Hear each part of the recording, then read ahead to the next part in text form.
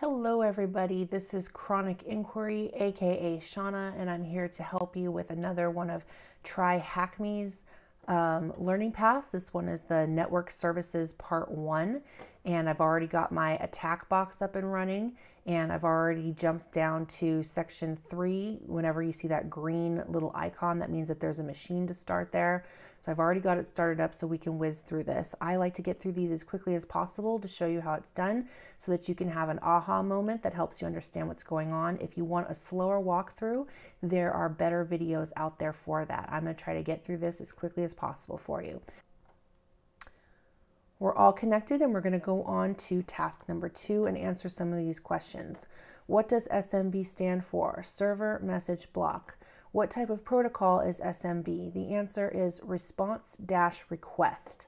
What do TCP clients connect to servers using? The answer is TCP slash IP. What systems does Samba run on? And that would be Unix systems because of course the SMB protocol um, would work on Windows 95, all Windows machines since Windows 95 as well. Okay, let's go on to enumerating the SMB. Again, make sure that you have your machine started and that you have an active IP address already up here because we're going to need to be using that um, for the rest of this tutorial. Okay, let's go down here and see what it tells us to do. It says first we're going to have to conduct an Nmap scan of your choosing how many ports are open. I've seen different versions of network services where they kind of give you a little hint as to which one you should use. Um, this one that I'm in does not, so I've done a couple of Nmap scans for you and I found out the one that works best. So I'm going to do Nmap, I'm going to do um, a SYN or stealth scan. I'm going to do it of top ports because if you just do it for the basic um, uh, first 1,000, um, it's not going to be enough for you. So I did it for the first 5,000. And then, of course, you need to put in the IP address of your machine. Mine, again, is up here, and it is 10.10.18.120. Hit enter. This is going to take a few minutes, so I'll come back when it's done. Give yours more time. Up, oh, this one actually went pretty quickly today. So let's see if we can answer some of these questions here. So how many ports are open? The correct answer is three. And so again, if you've done an exhaustive enough scan, um, you'll be able to see those three ports. What ports is SMB running on? We know from our research, you should know from your research, that NetBIOS and Microsoft DS are the SMB um, uh, hosts. So those are the answers. I put, uh, because of the slashes here, I did this wrong at first and I put 139 slash TCP, but no, they just want the two ports number. So the correct answer is 139 slash 445. And so now it wants us to get started with enum for Linux and it wants us to do a full basic enumeration. So how do we do that? It gives us a hint up here. We're gonna need to use the option dash A. So let's get started on that and we just go enum for Linux and we want to do the dash A and then we do the IP address of our machine that we're trying to connect into and do enumeration on. And this takes a few moments because it's going to go through all the different passwords and users. So just give that a moment to get to the bottom. Um, while it's doing that, you can just scroll up on the side. You can't hit anything, but you can just kind of scroll up and we can get up here and we could start getting some basic information. So it's really good, easy to scan by looking at these headers um, that it gives you. So we'll start at the top and see what information that we have. Here we go. So the first question that it's asking us, what is the work group name? So let's go down to enumerating work group and it shows us that the domain workgroup name is workgroup.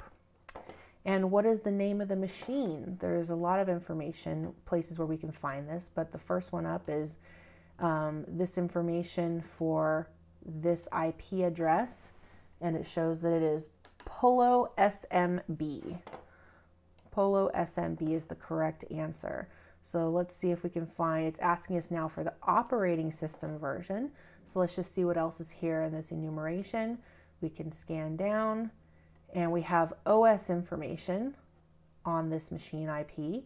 Again, it gives us the name for this machine. Polo SMB, and it shows right here the OS version is 6.1. So that's the answer here, 6.1. What share sticks out as something we might want to investigate? And by the way, as you're doing an enumeration, you're finding this information, you should be jotting it down in like a notepad or on a sticky note on something on your table to keep track of it because we're going to be using it in the next um, the next sections. So we go down here and we see share enumeration. So, and let's see what's in here that might be interesting. Okay, so a lot of these are kind of like background admin things that um, it's not going to be too useful to us. But the thing that sticks out to me is the profiles share name. Um, and it's going to contain user profiles. That's going to be great because if there's anything that's not protected in there, maybe we can get a user profile and be able to get into this SMB um, system. So that's the answer there. It is profiles. All right, let's go down to task number four and let's start exploiting the SMB. Okay, first it's teaching us how to use the SMB client. And so it's asking us um, what the correct syntax would be to access an SMB share called secret as user suit on a machine with the IP 10.10.10.2 on the default port. So we would invoke the SMB client and then we would have space forward slash forward slash 10.10.10.2 forward slash secret space dash capital U for user. The user's name is suit. And then we'd have dash P for the port that they want us to use. And we're going to be using 445. Okay, so now they want us to try this out on our own and see if we can get into the client. So now that this enumeration is done, I'm going to scroll down to the bottom. Here, I'm going to move this up for you guys so you can see it a little bit better. And we're going to try to get into this server ourselves, SMB client. And we're going to use forward slash forward slash and then use the IP that is correct for your machine. Mine is this and I'm going to do um, forward slash profiles because that's the folder that we're trying to get into. And then we're going to use the user dash capital U as anonymous. Make sure your cases are correct because Linux is case sensitive. Hit enter. All right, it looks like it's possibly letting us in. It's asking for the password. We're just going to hit enter because we don't have one. And look right there. We are in. And so does the share allow anonymous access? So this particular share folder of profiles does allow anonymous access. Yes. Okay, great. Have a look around for any interesting documents. Who could we assume this profile folder belongs to? So now that we're in, um, remember back from your Linux fundamentals uh, pathway that to look around inside a directory, we push ls to list what's there. And look, we see this document working from home information.txt. I think that that's probably going to have a lot of useful information. So let's just start there. So you guys are probably thinking, oh, let's just cat. Since there's spaces, I'm going to use quotation marks because Linux um, doesn't like spaces in file names. And look what happens. Cat command not found. When we're in SMB, we can't use cat. So we're going to have to use the get function. So let's do get working from home information.txt.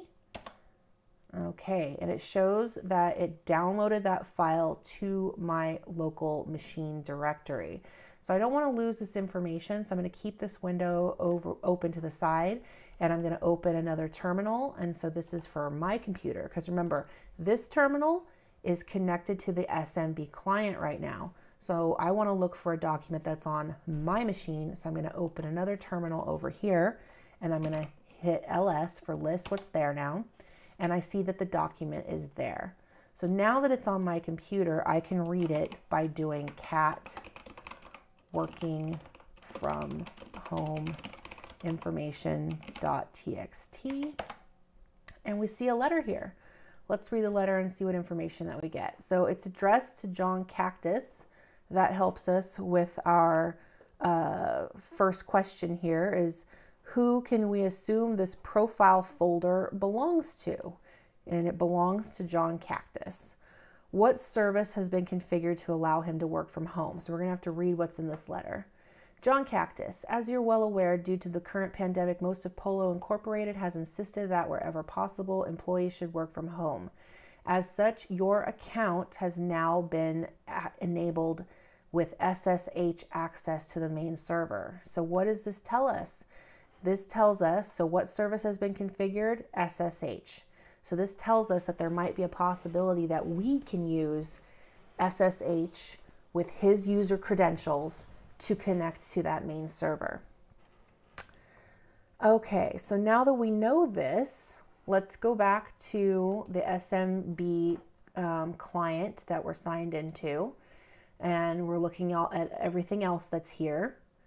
And it's asking us, now that we know all this information, what directory on the share should we look in? And look, we see that there's a directory called .ssh. So that one might even give us even more information. So I'm going to um, change directories and we're going to try to get into .ssh and see what's here. Now that we're in it, you can see that it now has the extension of backslash dot .ssh. I'm going to list what's there. And look, so this directory contains authentication keys that allow a user to authenticate themselves on and then access a server. Which of these keys is most useful to us? So, from doing research um, on SMB clients, you should know that ID underscore RSA is actually a fairly common um, file name for that. So the answer over here is ID underscore RSA. They gave you a little hint too. So what is the default name of an SSH identity file? If you were to put this into Google, let's do that right now.